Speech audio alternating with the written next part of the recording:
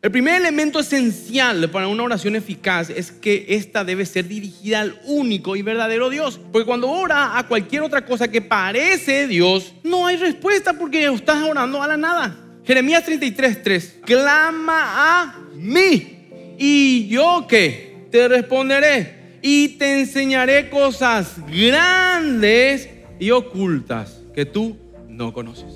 Clama a mí, primera condición. Parece obvio que tenemos que clamar a Él. No es obvio, hasta Dios lo sabía, por eso te dice, clama a mí. No solo los cristianos de esa época, sino también todos los creyentes de la actualidad podemos traer nuestras peticiones ante el Señor, pues conocemos a quién oramos. Sin embargo, hay muchos que dicen clamar y creer en Dios, pero realmente oran a una deidad ficticia que han creado en su mente. Y no estoy hablando de un ateo o de otra religión, de cristianos de aquí, de aquí.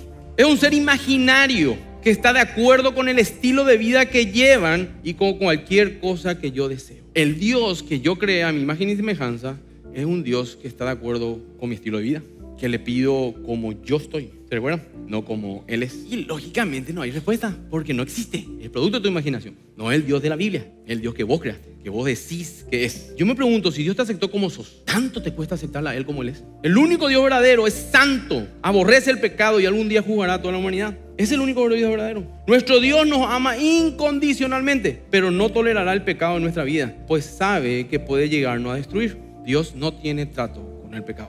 Él es santo, santo, santo. La única oración que Dios escucha de un pecador es de arrepentimiento. Así que hay que entrar en cuenta primero con Él. Él solo tiene el poder para contestar nuestra oración y cumplir su promesa de darnos vida eterna, no otro Dios, no el que vos crees que es Dios. Por otro lado, un Dios hecho por hombres no tiene ningún poder para responder oraciones, ni tampoco puede ofrecer la seguridad de la salvación, que es la más grande de las peticiones que se logró. Sus oraciones no tienen valor alguno si va dirigido a ese Dios. Yo te pregunto nuevamente, cuando oras, ¿a quién oras? ¿Al Dios bíblico o al que vos crees que es el Dios bíblico?